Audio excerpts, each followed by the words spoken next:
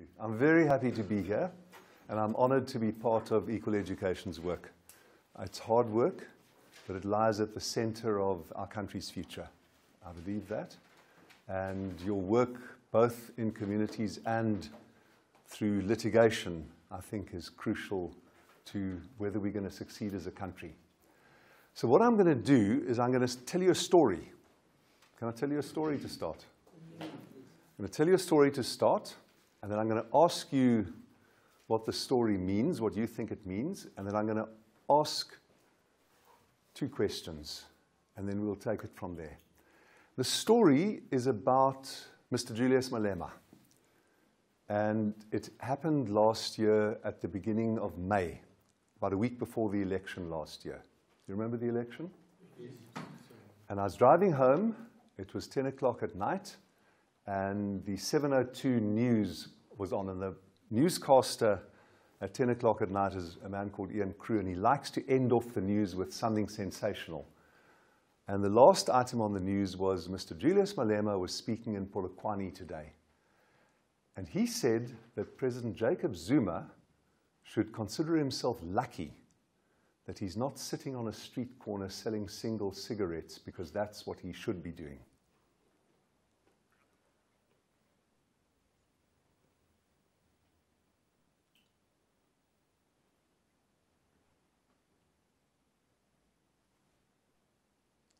You're smiling, but you don't want to. You're trying to hide your smile. Who else was trying to hide a smile? You were. You were. Who else was trying to hide a smile? You were? You weren't? What did you think? What did you think of what Mr. Malema said at the end of April, beginning of May last year about President Jacob Zuma? Well, I believe it was his own opinion. Entitled to. George? And what did you think of the fact that he could say it? For me, I don't see it as in breaking the law. It maybe it's his wish for him, yeah, maybe. Yeah. So, Any other views? For starters, it's very funny. Even though most of us all held our laughter, but we really wanted to laugh. Because, um, So you also really wanted to laugh. yes, um, not to the fact that he's saying it to the president, regardless of who he was saying it to. Even if he had said it to you as a constitutional court judge, it would still be funny in the context in which he was saying it. Thank you to both of you. Those are very, very helpful because you emphasize that he was acting within his entitlements in a constitutional state. And you bring the background to that in and you explain why it, it is, because it's actually outrageous, ladies and gentlemen. I listened in my car on the way home and I went, that he could say that. And I was waiting to see the next day in Business Day or the Star was Gwede Mantashe or Zizi Kodwa going to lay a charge? Would the presidency respond? And what happened? Nothing.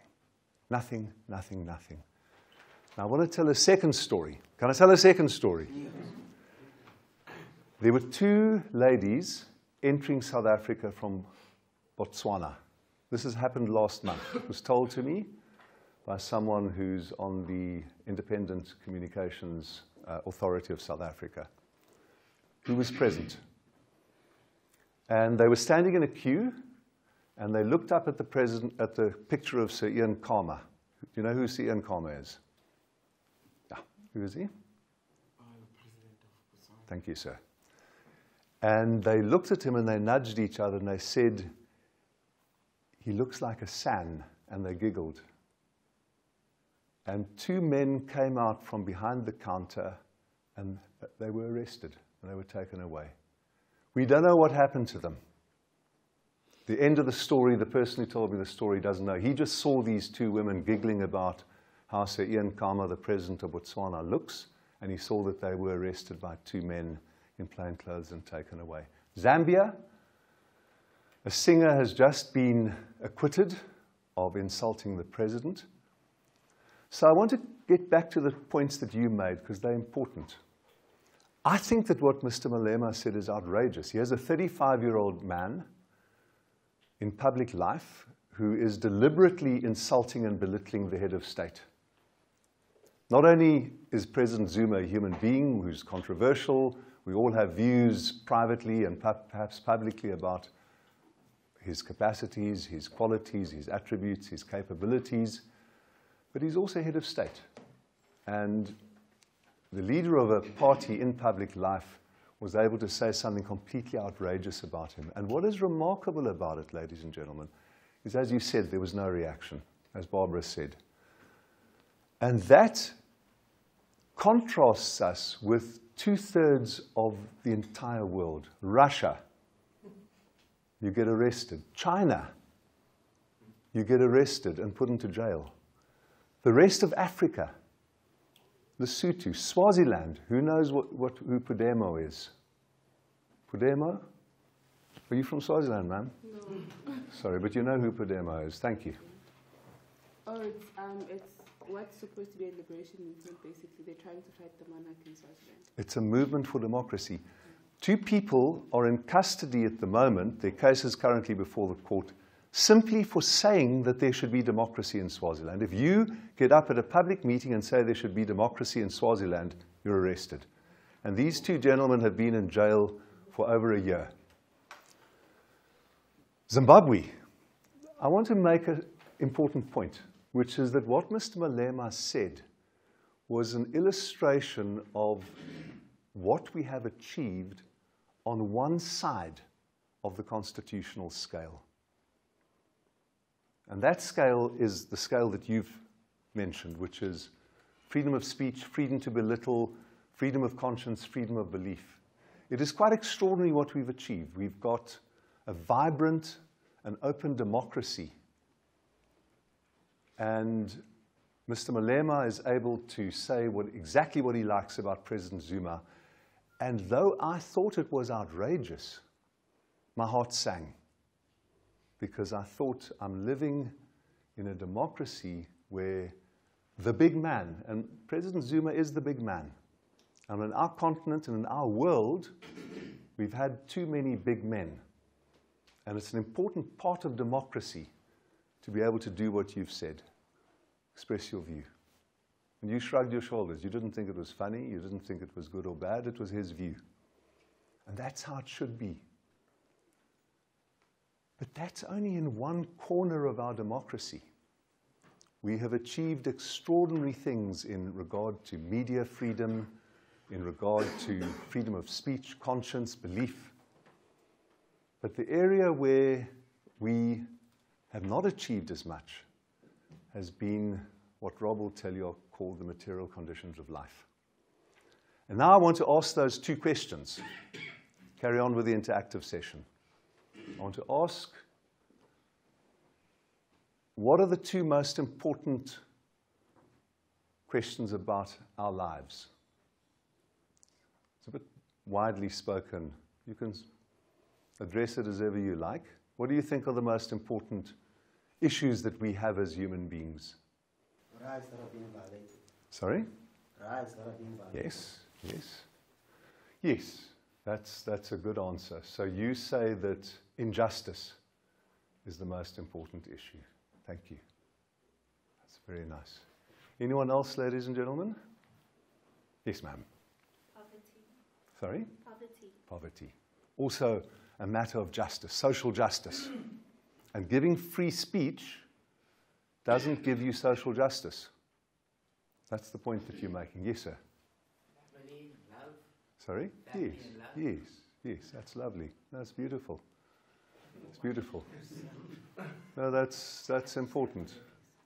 Because you're saying we are human beings with a need for engagement and for attachment and for dependency and for the beauty of human connection. Thank you. Yes, ma'am. Unemployment. Yeah. Also a matter of social justice. Yeah, that's right. Yes, I would say realization of our rights. Yeah, realization of our rights. You see, what our Constitution does is that it recognizes that for Mr. Malema to be able to stand up at Polokwane and insult President Zuma, he's got to have a full stomach. He's got to have mobility. He's got to have the material conditions of your life determine whether you are able to exercise what we call first order rights the freedom to move, the freedom to choose, the freedom to believe, the freedom to express your views, the freedom to hold views, the freedom to, to have a religion. You can't do all of those things if you are hungry and cold and if you don't have a house. Our Constitution recognizes that. So it says that we have to achieve social and economic rights as well. Those issues of justice that all of you have raised. And I think that the two biggest questions for us, I agree with everything that all of you have said. The way I see it is that the two biggest questions for us are what I call the question of agency and the question of possibility. Question of agency is the answer to the question what can I do? What are my capabilities? What, what, are, what, what am I able to do? What can I do in this world? And the question of possibility is the question of what does the world allow me to do? What are the limits and the possibilities that the world out there creates for all of us? And of course, as Rob would have told you yesterday, the two are interconnected. It was Karl Marx who realized that the world out there determines your ideological framework, the way you see the world, the belief system that you espouse. Your consciousness determines, is determined by your material conditions. So the two are linked. But I think for us, for me as a judge, for you as activists, those are the two most important questions. What can you do? What can we as South Africans do? And what does the world out there make possible for us to do? And the biggest thing out there in that world, I think, is the Constitution for us. Joey was just saying, Where are you, Joey? Joey's printing a boarding pass. It's very good of him. Michael, you should have gone and done that. Ladies and gentlemen, with regard to the first question, agency, we are a unique country. The fact that Mr. Malema can stand up like that and exercise his rights of free speech didn't come from 1994. It didn't even come from 1912. What happened in 1912? Thank you, ma'am. I just don't want you to get too comfortable. Okay?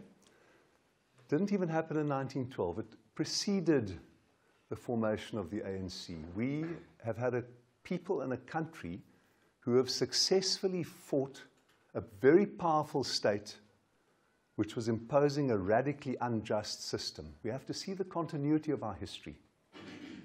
We have people for whom the Constitution gives a sense of agency because our people were skeptical of power before the Constitution. Your parents, in, 19, in the 1980s who started the United Democratic Front all across the country, in townships and suburbs and cities and organizations and institutions. Our people gained a deep skepticism about power. So when people say to me, Is the Constitution strong enough to prevent a dictatorship? I say, No, it isn't. But our people are. And Mr. Malema, I don't endorse what he said about President Zuma. I don't endorse anyone insulting the president. But what Mr. Malema was doing was to draw on a long history of skepticism about power and about powerful figures. And that sense of agency, each of us asks, What can I do? And we in South Africa are specially empowered there. It's very tempting at this stage in our country to feel cynical or angry or passive or powerless, but we're not. We're not. Our history shows that we're not. Our history of resistance to white supremacy, to apartheid, to apartheid's injustice, to racial hierarchy and subordination. And then our history over the last 21 years shows that subjectively, we as South Africans have a great capacity for self empowerment, for, for agency. And then the second question the question of possibility, the question of the world out there. What does the world allow us to do? We've got an extraordinary constitution. It isn't working yet, but that's why when I started, I paid tribute to what you're doing, because what you're doing is the only thing that can make the Constitution work. Civil society actors, together with government, together with legislators, together with political parties, but indispensably vital civil society actors are necessary to make this constitutional scheme work. And the tools it offers us are very considerable. I want to mention a few cases which illustrate what can and what can't be done, and then I'd like your views about them.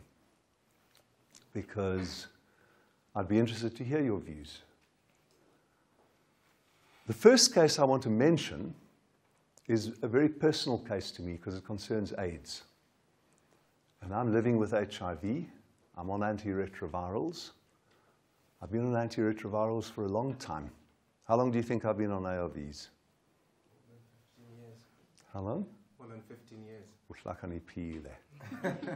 yeah, quite right. Been on antiretrovirals for 17 years, ladies and gentlemen. I was very sick with AIDS in 1997. And then I started ARVs. And I lead a full and healthy life. But I started off on ARVs because I was a judge and because I could afford to spend in 1997 4,200 Rand a month buying my own ARVs. And just after that, Zackie Achmat in the city founded the Treatment Action Campaign. And the idea of the Treatment Action Campaign was to tackle the drug companies, to say it is outrageous that there should be medical technology and production methods that can produce drugs cheaply that will save people's lives, but that people should be allowed to suffer, suffer terribly. How many of you know someone who's living with HIV? Almost everyone. How many know someone who died of AIDS? Almost everyone? Yeah. Does anyone here mm. know someone who's sick right now with AIDS? You do too, Yanda? Yeah. So the treatment action campaign tackled the question of drug pricing and it won that battle. The drugs I'm taking now, I'm taking Truvada, I'm taking Nevirapine. They cost about $60 a year now. Amazing, absolutely amazing. 600 Rand a year. What's that? 50 Rand a month. Less than 2 Rand a day. Quite extraordinary. The battle of drug pricing was won, and it was won because of activists like yourself, because people saw a world. You started us, sir. What is your name, please? Leon, Sorry? Leon, Luyolo. yes. Thank you, Luyor Law. Am I saying it right? You must help me if I'm not. They saw a world in which they felt they had agency, and they saw a world in which there was possibility for them to change it. Those two questions. What can I do? What opportunities does the world offer me? Those are the two questions that we have to ask ourselves every day in relation to the issues of injustice that press upon us all. And the Treatment Action Campaign won that battle of drug pricing, but the biggest nightmare, while they were winning that battle, was presidential denialism. It was a nightmare. Barbara was in Parliament. And President Mbeki refused to accept the science of AIDS. He refused to believe that it was a sexually transmitted epidemic. He refused to believe that the only mass epidemic of heterosexual AIDS anywhere in the world was in Africa. And he said, You're racist. You're telling us that we as black people are having sex differently from everywhere else in the world. You're telling us that we're having sex with gay abandon. That was said in a document that he probably authored. It was a terrible moment, ladies and gentlemen. It was terrible because in forsaking science and forsaking reason and in forsaking evidence, he ignored the biggest fact about the AIDS epidemic in Africa. What's the biggest fact about the AIDS epidemic in Africa? The demography, the epidemiology of AIDS. Anyone tell me? Anyone here from, yes, sir, did you want to say something? It started in Africa. Yeah, it started in Africa. Inter- interestingly, President Mbeki wrote a letter to Mr. Tony Leon, who was then the leader of the Democratic Alliance, and he said it is an insult to say that AIDS came from Africa. Why would it be an insult to say that a virus comes from anywhere in the world? Unless you believe it is a shame, a disgrace to have that virus. President Mbeki re stigmatized AIDS terribly just when we were trying. But that's, that's one fact. What, what's the other big fact about the epidemiology of AIDS? Where do you find AIDS in Africa? Let, let's challenge you. Do we find it everywhere in Africa? Do we find a, you're right, but do we find a mass epidemic everywhere in Africa? Did you say, was it Yanda? Where's the mass epidemic of, in Africa? Central and Southern Africa, the Bantu speaking peoples of Central and Southern Africa.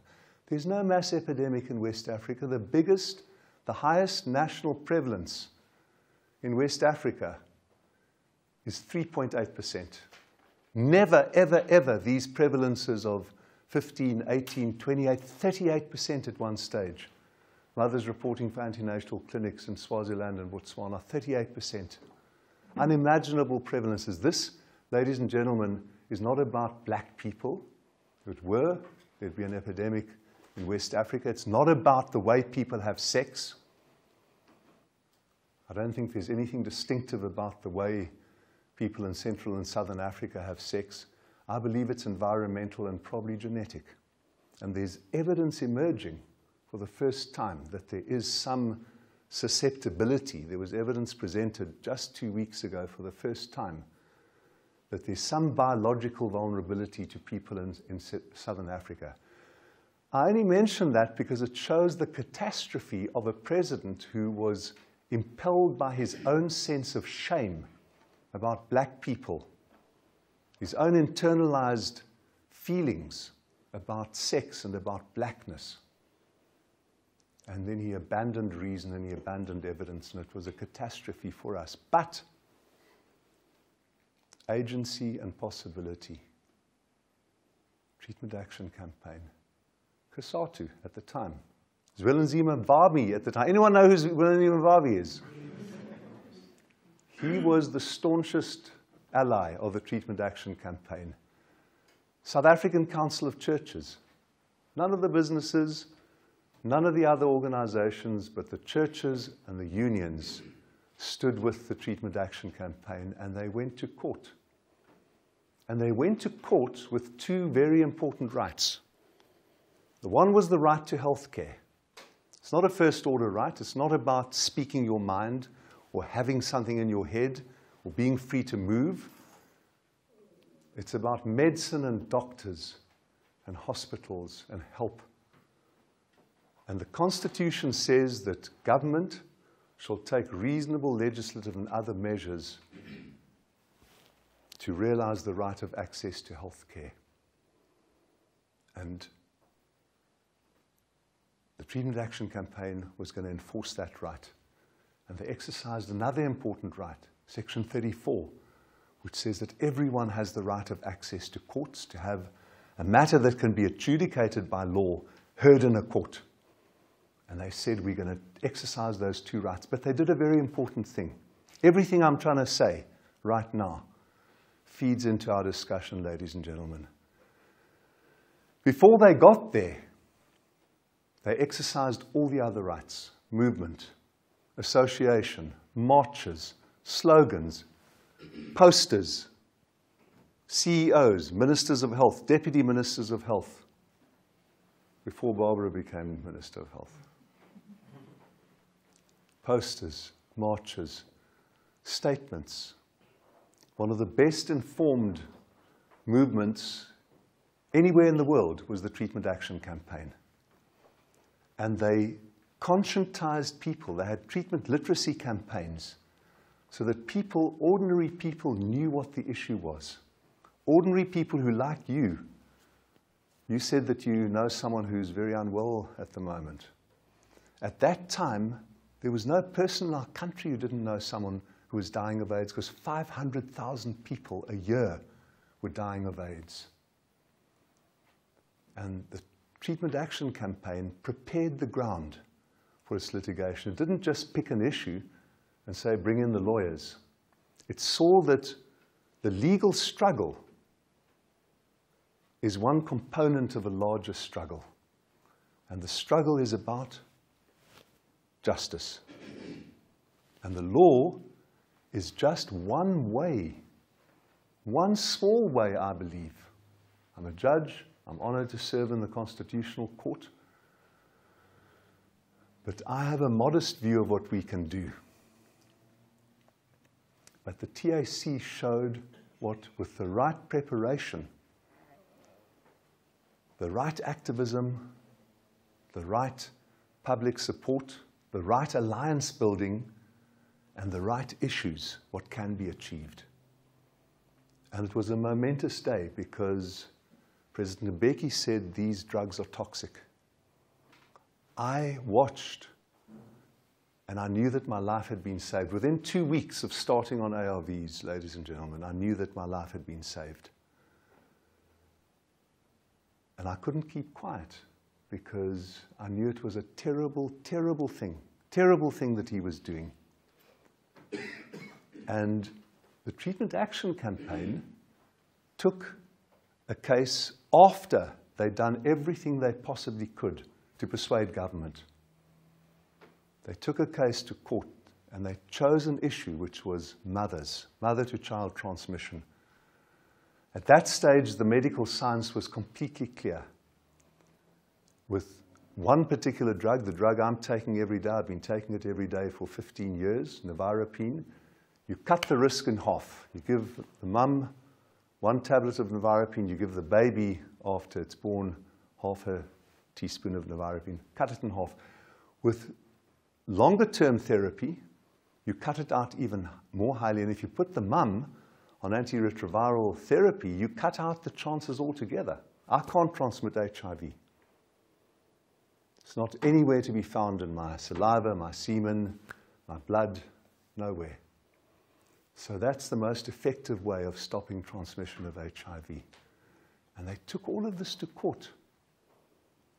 And the Pretoria High Court ruled that government's measures on AIDS were not reasonable. And the government continued to fight. Toxic, unsure, we don't know. Maybe it's going to be bad.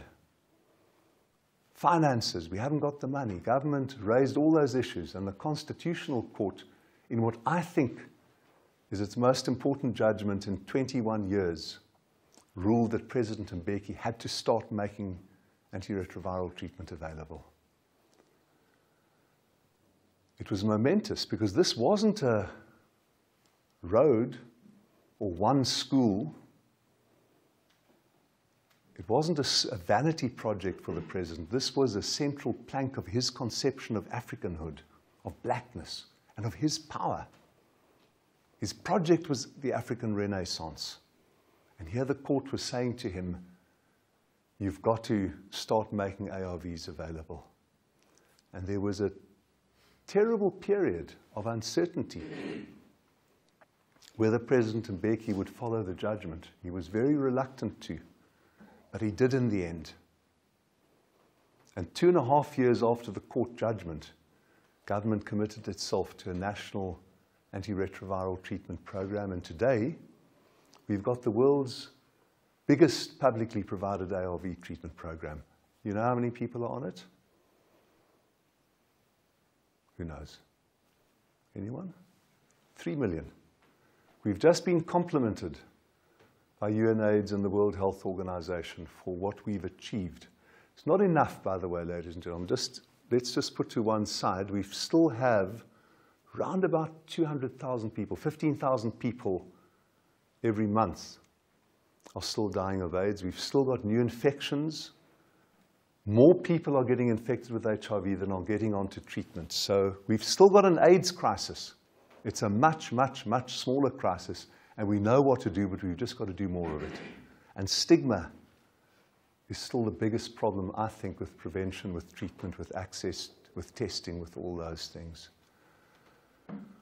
So the TAC showed what can be done, and to President Mbeki's credit, when the history books are written about President Mbeki, on the credit side will be the fact that he bowed his head before the law. And that's important because of the debate that we've seen over the last three weeks with whom? Um, President? From Sudan.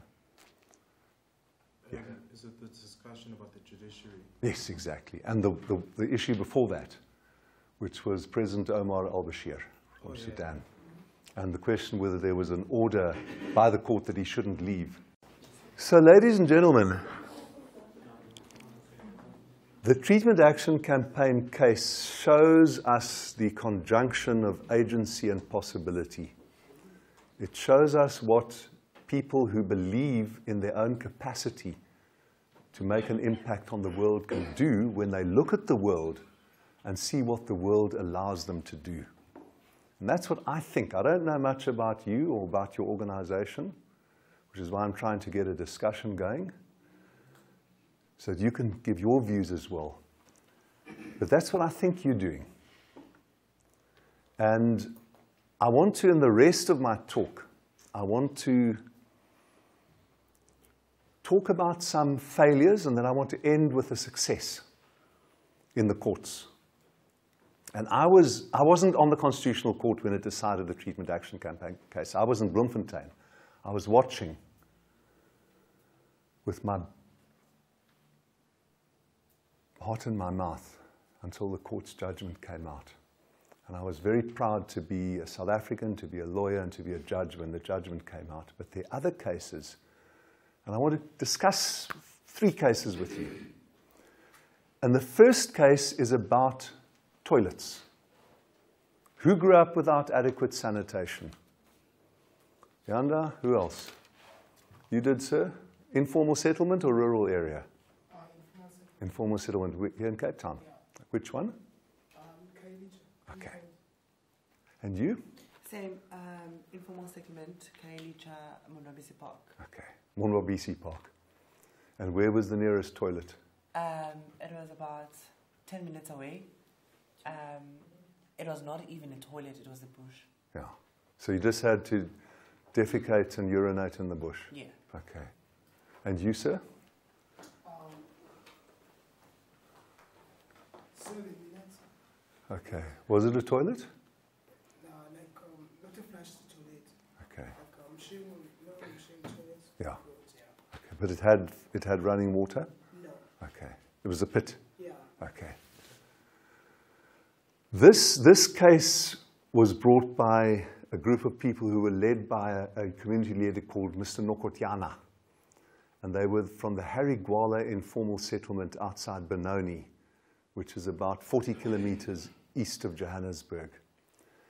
And they'd been waiting for an upgrade. They were told that they were going to get an upgrade, and years passed. Years and years and years and years and years passed, and nothing happened.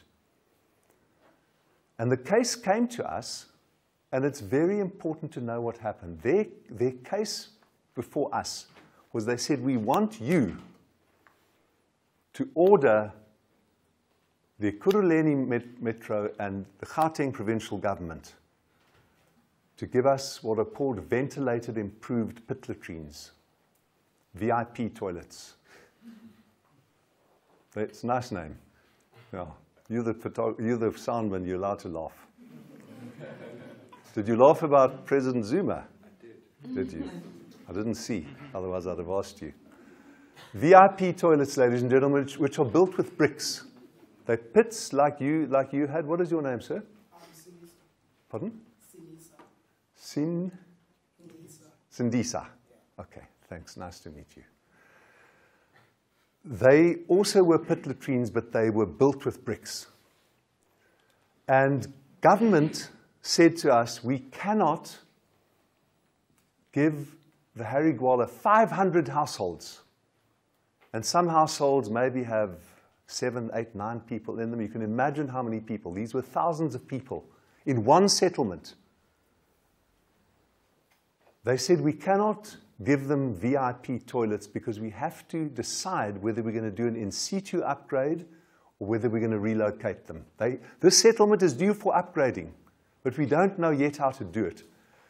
And ladies and gentlemen, the point about the case is the one I'm going to make now.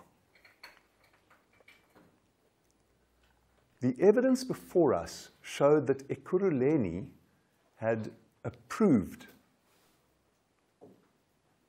the upgrade of the Harry Gwala settlement, but they needed funds from Gauteng. And once they'd got approval and funds from Gauteng, they could make the decision whether to do an in situ upgrade or whether to relocate.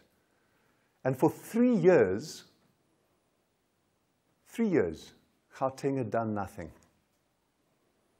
And there were two people, I will never forget their names, to whom Ekurhuleni, there was a planning department in, in Benoni, which became part of the Ekurhuleni municipality. And the people, the architects and the urban designers in the Ekurhuleni planning department kept on writing emails to two people, Mr. Philemon Mudau and his boss, Ms. Nomsa Esther Ngubeni. I'll never forget their names. Ms. Nomsa Esther Ngubeni appeared in our court again on the papers. I've never, don't know who she is. I want to meet her one day. I want to meet Ms. Nomsa Esther Ngubeni. I want to know what her life is like, what car she drives, what her salary is, what she does. I would really be interested because I don't, I don't know her life and I, will, I want to be respectful of her, not disrespectful. She said, I saw the emails, but I thought Mr. Mudau was dealing with them. He's my junior. Mr. Mudau didn't give us an explanation. At that point is a point about what the world offers to us, what possibilities and impediments, opportunities and impediments the world offers to us. Because lack of constitutionalism isn't always presidential denialism, high doctrine, high policy. Lack of constitutionalism more often are these mundane things with incompetent. Barbara, why are you agreeing so much? I'd love to hear. Um, having sat in a ministry just after Manto and just been exposed to the multitude of problems in the, in the, in the health system. That when you look at it objectively, these should not be problems.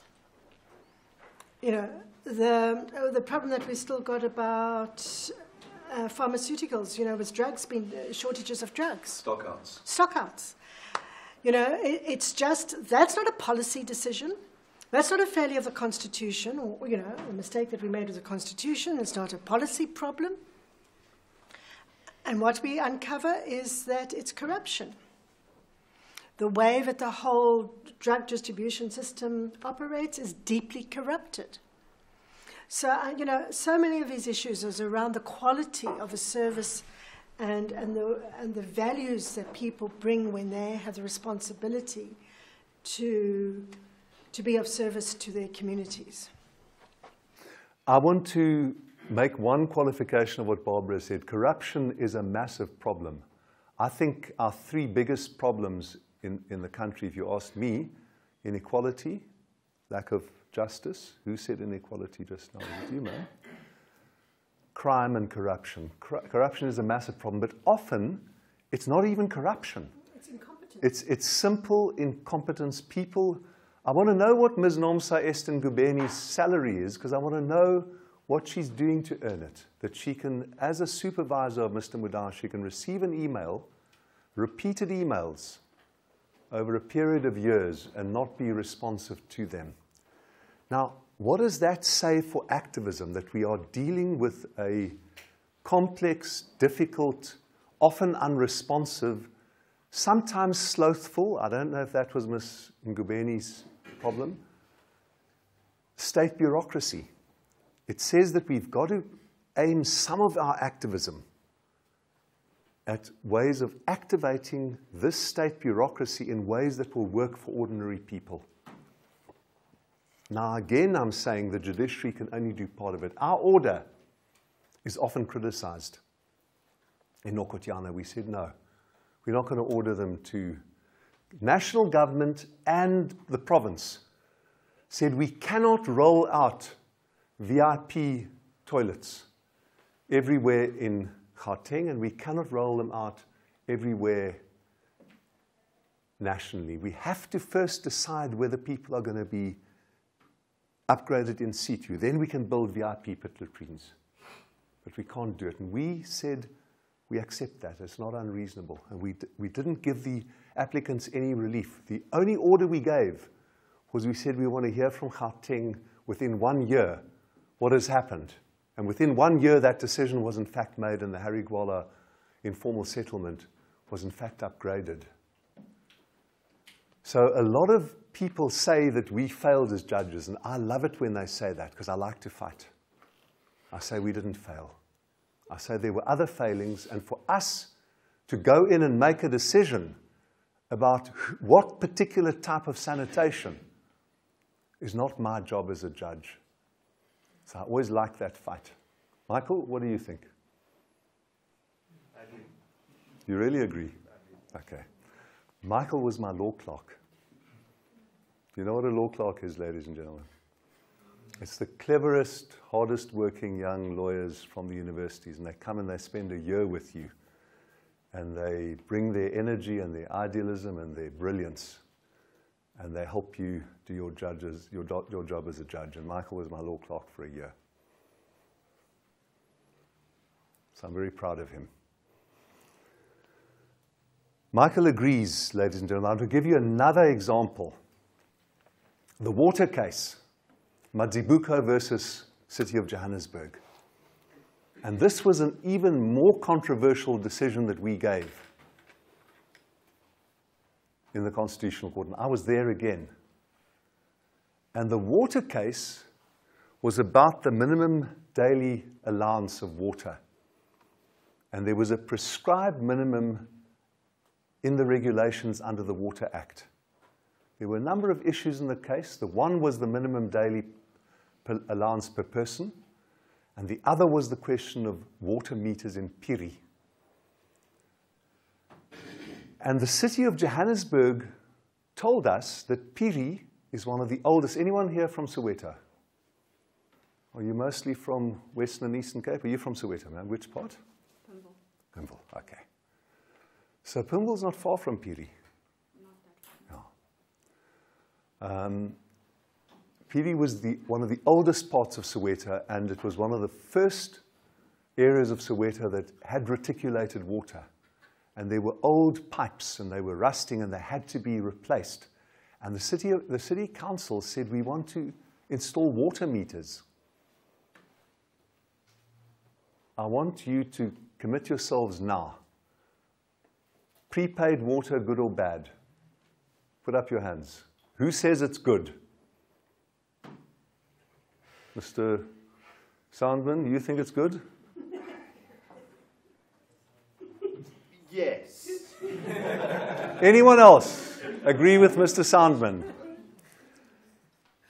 Ladies and gentlemen, the city of Johannesburg said to us that we think the best way is to use water meters and to make people pay in advance because we understand that the people of Phiri are poor. But there are 105,000 households in informal settlements who don't have running water at all. 700,000 people at that time in Johannesburg who don't have water at all. They said, we need to do the water meters. And the case was brought in 2006.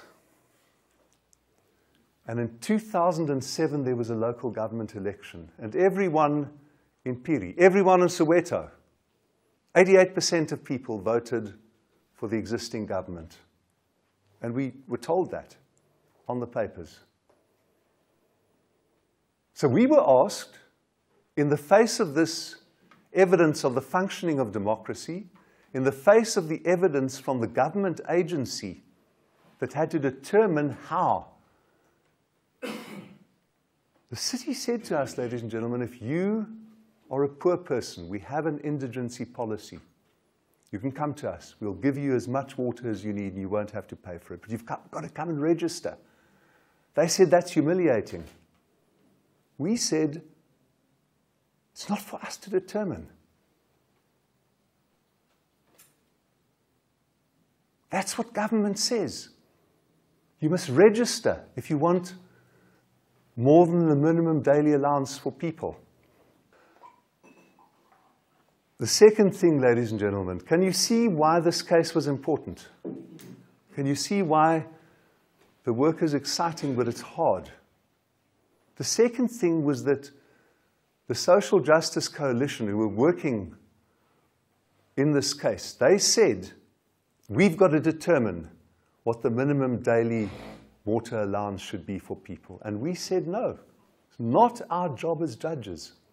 We had experts. We had experts from Brazil, experts from Venezuela. We knew that the city of Johannesburg had done extensive research on what the minimum daily allowance per person should be. They put all the evidence before us. And they said, This is what we have determined. The activists disagree with us, but this is what we're doing. And we said, That's your job.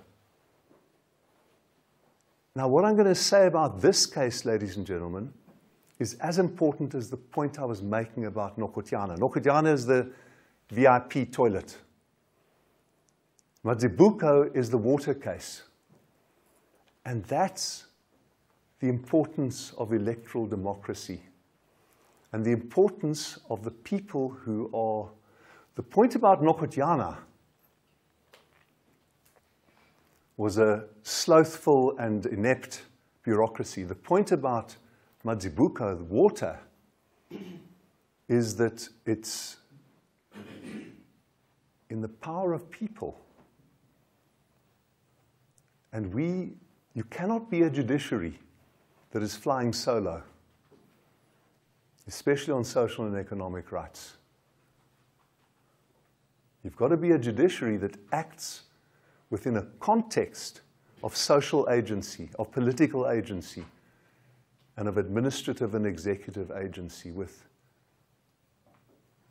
proper accounting of all those other spheres and agencies as well. So we often attack for Nokotyana, and I like it. Anyone want to attack me for, for, for Mazibuko? Rob? No, I agree with you. Mike? Agree with me. Barbara? Maybe others do. Yep. I reserve my judgment. Exactly. Can I, can I ask you a question? Joey. How can you say, you say you, you've got to come and register, is the, the, what the city is saying, you've got to come and register. But what's being proposed is to put in prepaid water meters. Now, water is not water is not like electricity. It's not a service that you need that improves things that that lets you run appliances and, and makes your life easier. Water is a basic requirement for aspects of your dignity to clean yourself, to cook for yourself, to Drink. to drink. Uh, so could could uh, is it is it not Water your vegetable patch? exactly?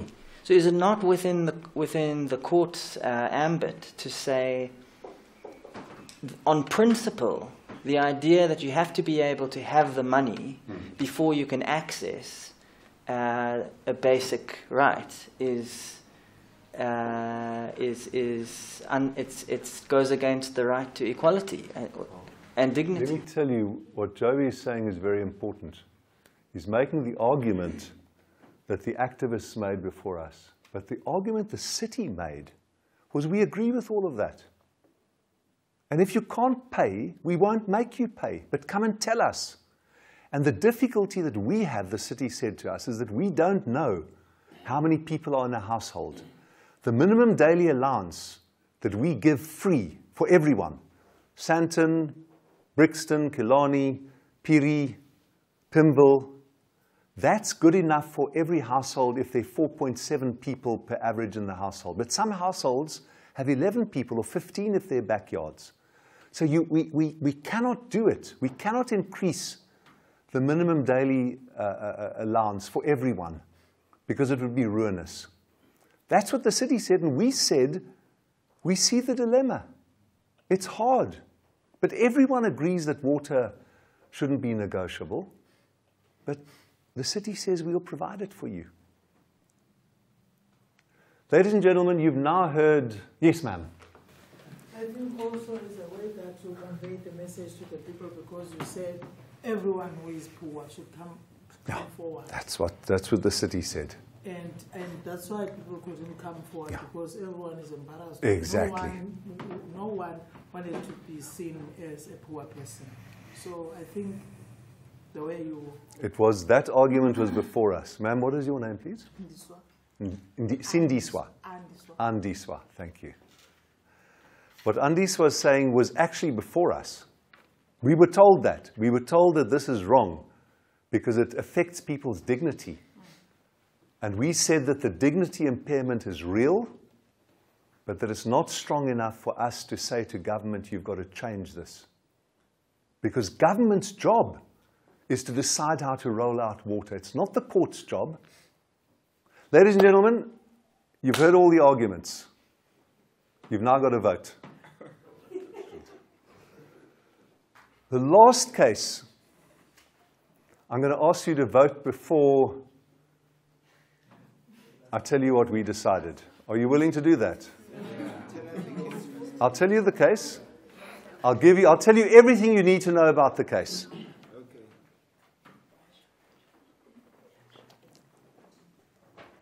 The city of Johannesburg has a housing policy. And the housing policy says that when we, the city, evict you because of safety or fire or because it's our building, we will give you emergency shelter if you don't have alternative accommodation. But when Andiswa evicts, she's a private person. We don't give emergency shelter.